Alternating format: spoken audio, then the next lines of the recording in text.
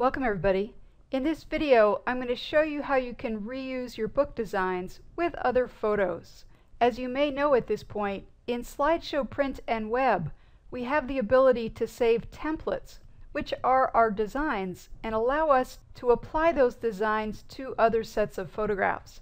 But here in the book module we don't have templates. So here's how we can reuse our designs.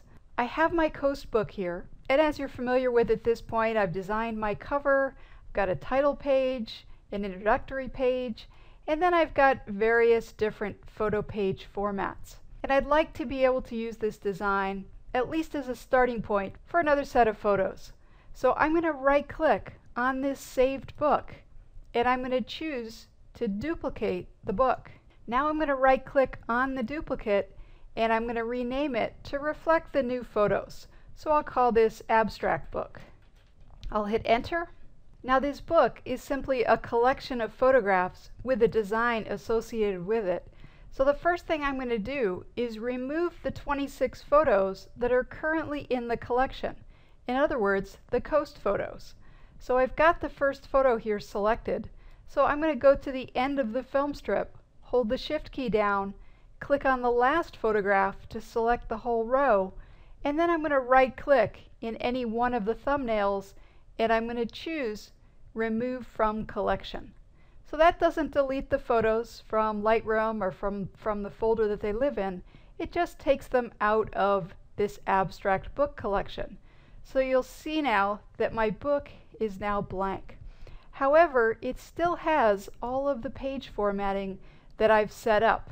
So as I hover over this one, you can see that this particular one has two photo cells.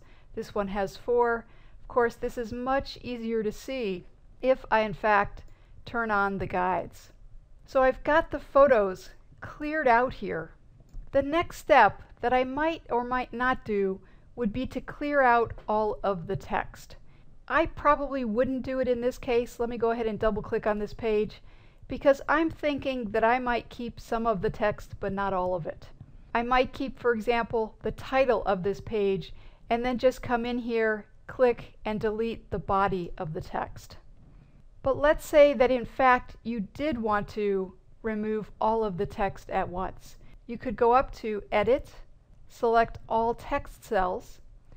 Now with them all selected, you could simply hit the Delete key on your keyboard and they would be cleared out and ready for new text. I'm going to do Controller Command Z on that. So we've got our book cleared out and now it's time to add different photographs to it.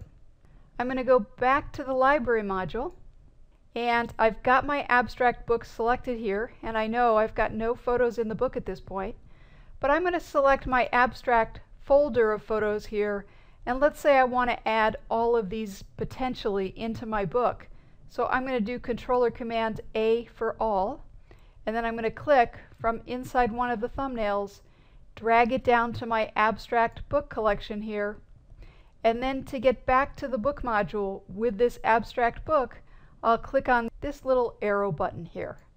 Now I'm back in the book module. I've got my abstract photos. I've got my book design. And now it's simply a matter of clicking and dragging to assign photos into this book design. Now from here, of course, I may go on to modify some of the page formats to better fit this particular set of photographs. Then I would continue to work on my text here, but I would be done much more quickly than when I created my first book with this design. Okay, so this concludes the video on reusing your book designs.